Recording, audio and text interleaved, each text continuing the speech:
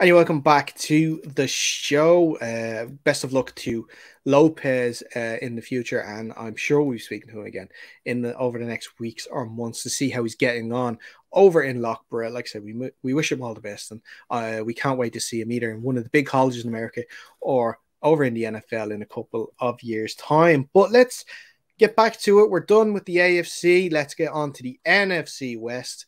Um, and we have to start with the Super Bowl champs, LA Rams. We ended the first part of the show with an LA team. Let's start the second part with an LA team. Of course, like I mentioned, Super Bowl champs. You everyone they are the they are the team with the target on their heads. Somehow they were able to bring in the likes of Bobby Wagner and Allen Robinson and pay Aaron Donald a load of money. And I think they gave uh, Matt Stafford a new deal, and Cooper Kupp got a new deal. Um, but those uh, those additions are scary to add to that team. Um, they didn't lose many people either. Um, Von Miller was probably the biggest loss that they've had. Um, so that that will definitely be felt. Um, Andrew uh, Andrew Whitworth, of course, is retired now in left tackle. So Joe Noteboom is currently uh, in the depth chart as the starting left tackle. So we'll see how he'll be able to perform if he is indeed the starting one. But Jake, I don't know what more we can say about the LA Rams. They are the best team in football and they haven't done anything in the offseason to make me think any differently. Yeah, I mean, I just think they found like when somebody in a game finds an infinite money glitch, that just seems what they've done to be able to afford all these big names. They don't give a fuck about draft picks, don't give a fuck about money. They just do what they want. They win games because of it. So uh, I think trading for Matt Stafford or acquiring Matt Stafford was one of the best moves they could have made. Um, and then on top of that, they just piled on and got excellent players around excellent players. Um, just to build up an already beefy team. It's already scary how good they're going to be. Yeah, uh, that's exactly it. And you know, like that in the last off season, they lost their defensive coordinator Brandon Staley to be the LA Chargers head coach, but they haven't lost anyone this off season. Oh no, they did. Sorry, they lost Kevin O'Connell, their offensive coordinator. He went to the Vikings, mm-hmm. so um, they have lost someone. Um, it's the cost of success, I guess. You know, other teams want to replicate it, but uh, like that, I, I can't see anything in terms of there is some issues with the running backs in terms of the Henderson and Akers at the moment. They are struggling with injuries. Sony Michel has gone off to Miami. Um, so it'd be interesting there to see. They did uh, draft a running back in the fifth round this year. They actually had draft picks, believe it or not. People think that they don't. They had some draft picks and they got uh, Kyren Williams in the fifth round as a as a running back, so he's a potential backup if there is issues with Cam special Akers. teams player, fifth round pick, running back. He's a special teams guy. I'm sorry. Yeah. On defense, Aaron Donald doesn't retire. He gets a new contract. He comes back again to wreak havoc on the NFC West. Um, Jalen Ramsey's cornerback partner is gone. Darious Williams got that massive contract at the Jaguars. Um, so it looks like at the moment, I think it's Troy Hill who's going to be playing opposite him in the other cornerback position. So I'll be interested to see if teams maybe target that side of the field more. But we saw last year that Jalen Ramsey moved around a lot, actually. He didn't stick on the one side of the field. So um, it's definitely going to be tough. And like you mentioned, Bobby Wagner, you know, breaks my heart to see him in LA Rams gear. Um, it's going to break my heart to see him come to Seattle in uh, LA Rams jersey. Break your heart again when he picks off Drew Lock or Geno Smith and runs it back. Oh, when, when he sacks the life out of him there, probably on like a third and 16, where he just blitzed through the middle. That's when it's going to destroy me even more. I'm going to feel that sack. But um, yeah, so like I said, the LA Rams, they're the best team in the division. And it's it's I can't see anything, especially with how weaker the other teams have gotten. Um, when I when I talk, especially about the Seahawks and one other team that I'll get to, but yeah, it's it's it's tough to see anybody topping them this year. Yeah, I think they're, the, they're probably they're, well they well they're obviously a good bit better than any other team in that division. They're taking advantage of a, a, fairly weak division in the grand scheme of things. Next up is probably the Cardinals or something like that, but the 49ers have kind of lost a lot and aren't going to be playing as well. So I just they're a team that is just going to get to the top of that. I don't, I don't think it's going to be particularly diff- difficult for them to be the top of their division. Yeah. Well, that's you mentioned the Cardinals. Let's move on to the Arizona Cardinals. They're coming into this year, of course, losing that wild card game to the Rams. They haven't brought a lot of players in of note this year. Marquise Brown is part of that trade with the Ravens. Um, he's reuniting with Kyler Murray from college. They've lost some really, really like important and veteran pieces all along that field. The likes of Chase Edmonds, Chandler Jones, Christian Kirk, Jordan Hicks. There's some really big losses there that do worry me because all the news off season, of course, has been about Kyler's contract, but I don't think enough has been talked about the fact that you know they've lost some really, really bad. Uh, they've not lost really, really bad. They've lost some really, really good players. Yeah, they've lost a lot of good players and haven't really replaced them with even better players or players around the same skill set. I mean, they lost Christian Kirk and brought in Marquise Brown, but who's really high on Marquise Brown at this stage in his career? Uh, I don't know. I just don't know what to make of him.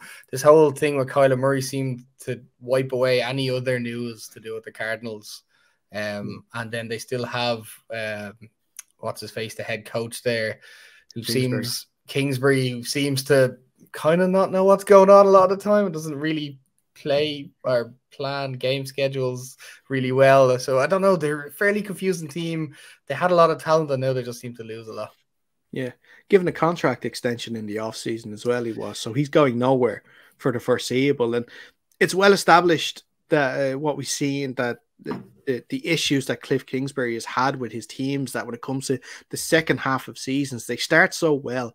When it comes to the second half of the season, they seem to fall off a cliff. Um, and it's it's interesting because they if they start hot and starting hot is going to be difficult for them this year because they've lost uh, DeAndre Hopkins for the first six games of the season as well through suspension. So, you know, and with Christian Kirk gone, you have an aging AJ Green out there. Um, like I said, Marquise Brown. You have uh, Zach Ertz out there yeah. too. So, but so we'll have to wait and see. And you know, James Conner, of course, was a stud last year running back. So we'll we'll see if he can continue that on the defense.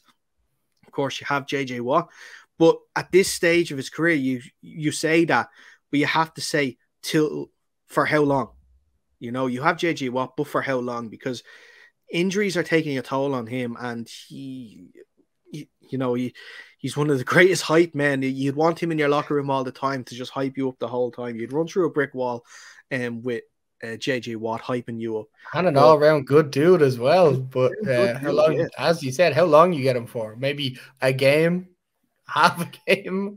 you never you know. know. It could, yeah, it could be the first play. It could be the last play in game week 18. You know, we don't know, but it's going to happen. That something is going to some sort of injury is going to pop up somewhere.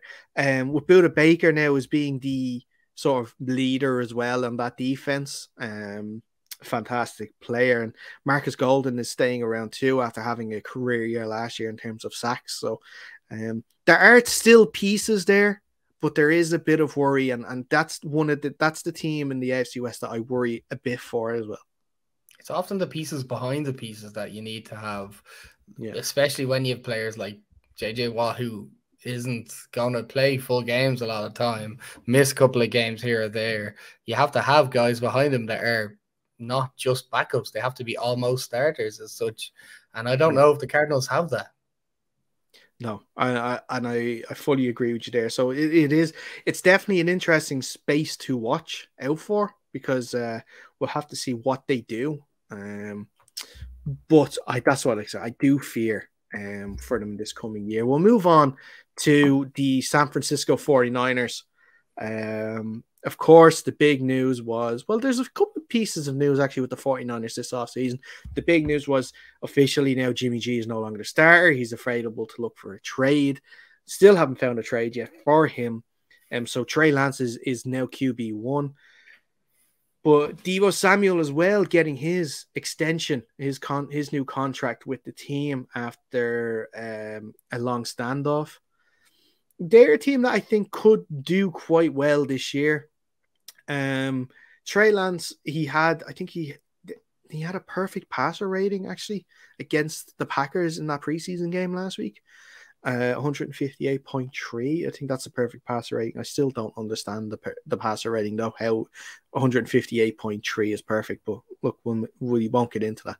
Um, but like Jake, I, will let you go first on this one. Your initial thoughts of the 49ers and and how you how, how you think they are going to get on coming into this year. I don't like I don't think they're going to do particularly well there. I don't think they're going to be last in the division, but I certainly don't think they're going to be. I think they're going to be third, to be quite honest with you. Um, almost a rookie quarterback, Trey Lance, starting because he's what played. I don't know, twenty snaps in the last season, so can't really expect him to do extremely well. I, I assume he's going to have some of them games where a mobile quarterback gets the better of a defense because they don't know how to plan for him. But as always, a defense when they watch a couple of weeks of game film on him. They're going to know how to hit him and how to contain him, and then he's going to have to rely on his passing. And I know you said he had a hundred or his perfect pass rating, but that is a preseason game. A lot of the time, defenses don't play their exotic looks or their actual game. They're just playing a vanilla base defense, so nobody gets a look on their defense. So, um, I just don't think there's going to be a lot of sustained success for him. He, he does have some nice pieces. Deebo Samuel, he has um, George Kittle, obviously, um, to rely on these guys, but uh, I just don't see them um, topping the NFC West. Or I, I think it's going to be third for them. Yeah. Well, we can't forget that they were one game away from the Super Bowl last year. They were in the NFC Championship, and it came down to the very last play against the Rams um, for them to beat the 49ers. So there is talent in this team. And like that, I think that they actually have got some really strong pieces together. Like the running back room is strong with the likes. Uh, Elijah Mitchell has been uh, was really good last year. The Jeff Wilson is going to be back too. You have Trey Sermon there too. That didn't really get a fair crack at things. I don't know. We'll have to wait and see if if Deebo is going to still do that dual threat role where he plays a bit running back too. Um, of course, with Brandon Aiyuk, who I'm hearing is having a fantastic training camp after sort of being out in the cold a little bit last year. Uh, Jauan Jennings showed quite uh, showed us, sorry, in the uh, postseason last year that he is actually someone that could take a step this year too. Um, like you mentioned, George Kittle, a fantastic uh, tight end as well. So they have some really, really strong pieces on offense.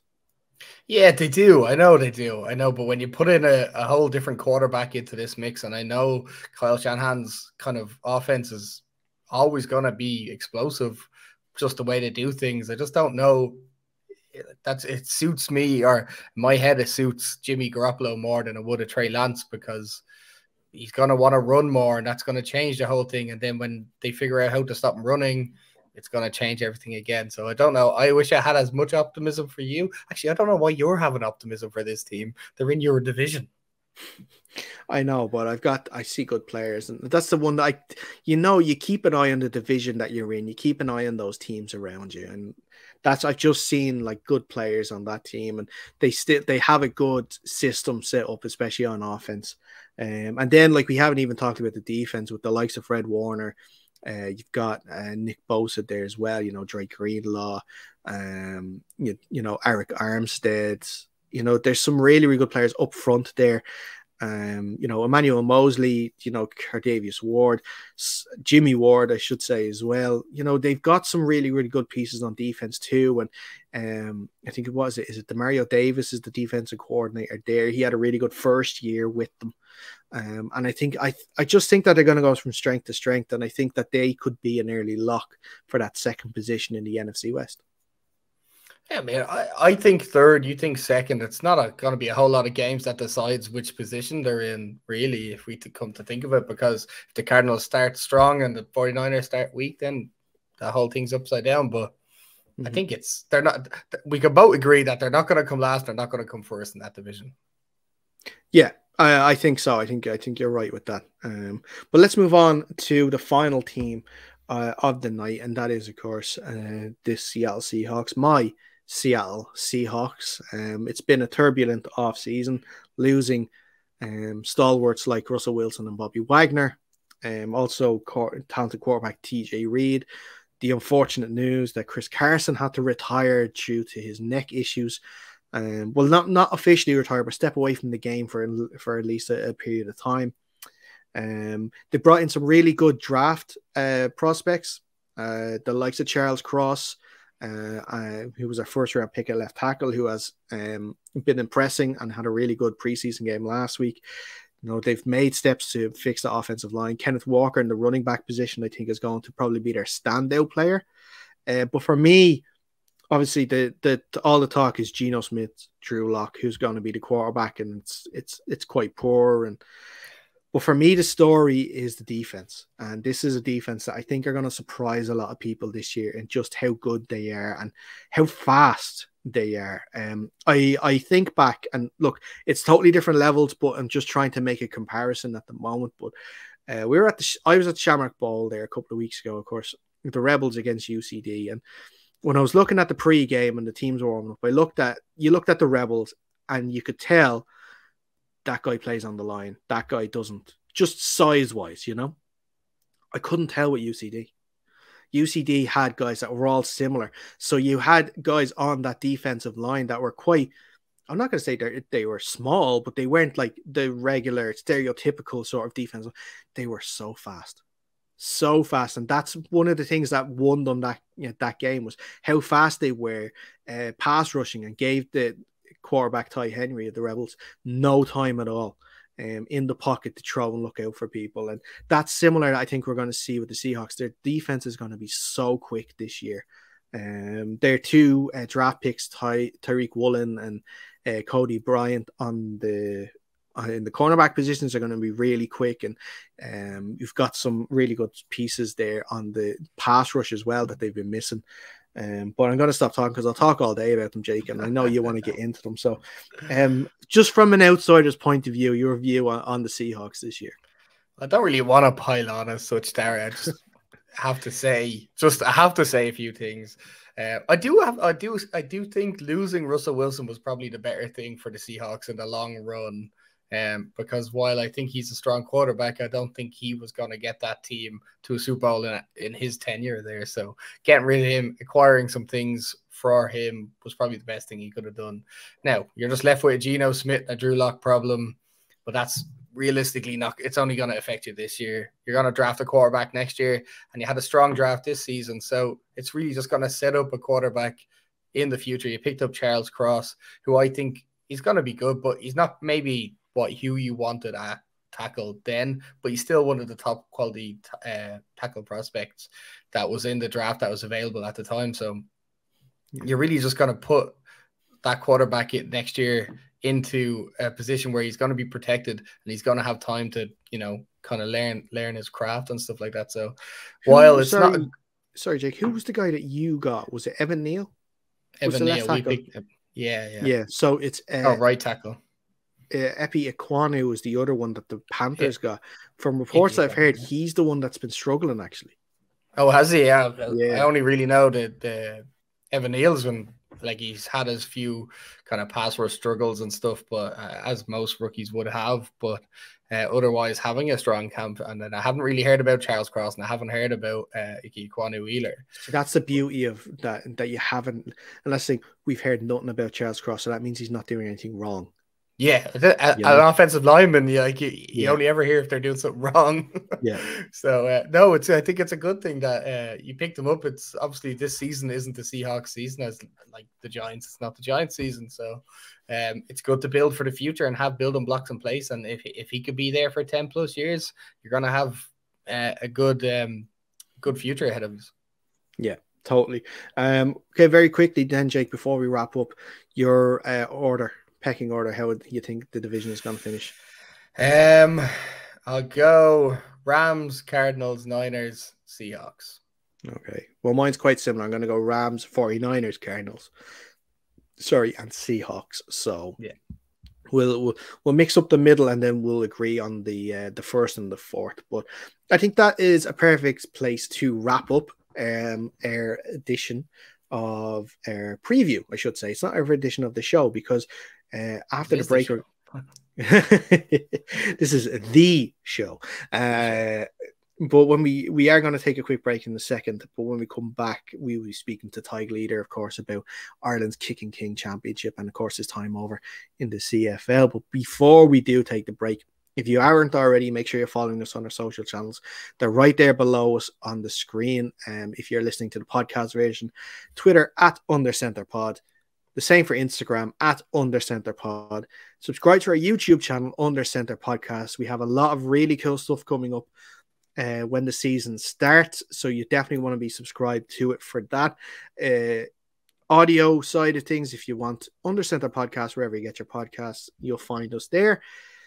Make sure you're sticking to our social medias because we will have a very cool announcement coming next week. Something that you can get involved in. So you're definitely want to, gonna want to be close to our socials, keeping an eye on it for that. Jake is wondering what the hell is he talking about. I can see that in your face. But like I said, we're going to wrap up this part of the show. We're going to take one more break when we come back. Tadhg Leader talking about Ireland's Kicking King Championship.